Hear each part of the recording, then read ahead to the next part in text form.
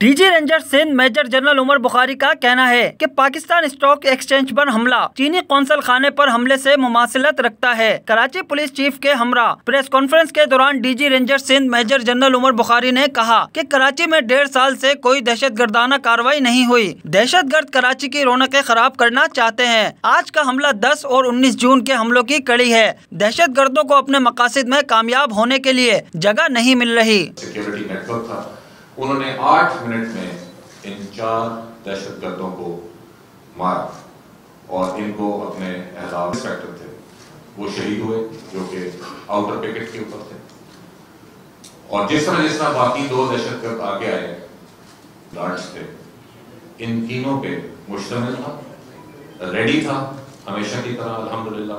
DG ranger Singh का कहना था कि दहशतगर्द तंजीमों और स्लीपर सेल्स का नेक्सेस बन रहा है। ये हमला किसी खुफिया एजेंसी के बगैर नहीं हो सकता। स्लीपिंग सेल्स के बगैर ऐसा हमला करना नामुमकिन है। भारतीय खुफिया एजेंसी रो की फ्रस्ट्रेशन सबके सामने है। गैर मुल्की एजेंसी की कोशिश है की बचे कुचे स्लीपर सेल को यकजा किया जाए।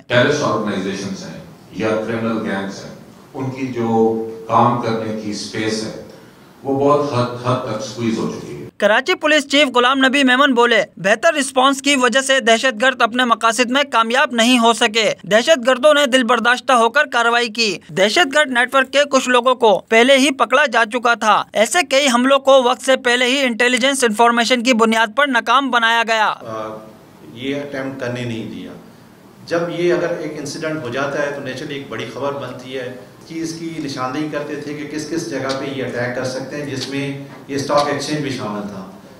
जब उनके ये इंटेलिजेंस एजेंसीज की हमारे पास इंफॉर्मेशन होती थी हम वाजह रहे कि 23 नवंबर 2018 को कराची में चीनी कौंसल खाने पर हमला हुआ था। दहशत गर्दी की इस वारदात में तीनों हमला आवर हलाक हो गए थे। इसके अलावा दो आम शहरी और दो पुलिस एहलकार जहाँ बाहक हुए थे। बलोच अलीदगी पसंद तंजीम बलोच लिबरेशन आर्मी ने इस हमले की ज़िम्मेदारी कबूल की थी। कैमरामैन शरियार अली के साथ सुमेर राजपूत क्विक न्यूज़ कराची। हर खबर ऐसी अपडेट रहने के लिए खबर सियासी या मुल्क के बहरान की। या हो आपके मुरझाए हुए चेहरे पर मुस्कुराहट लाने की बात। हम बनेंगे आपकी आवाज़। सब्सक्राइब कीजिए पाकिस्तान के सबसे बड़े वेब टीवी क्विक न्यूज़ को। और बेल आइकन दबाना ना भूलें ताकि आपको लेटेस्ट अपडेट मिलती रहे।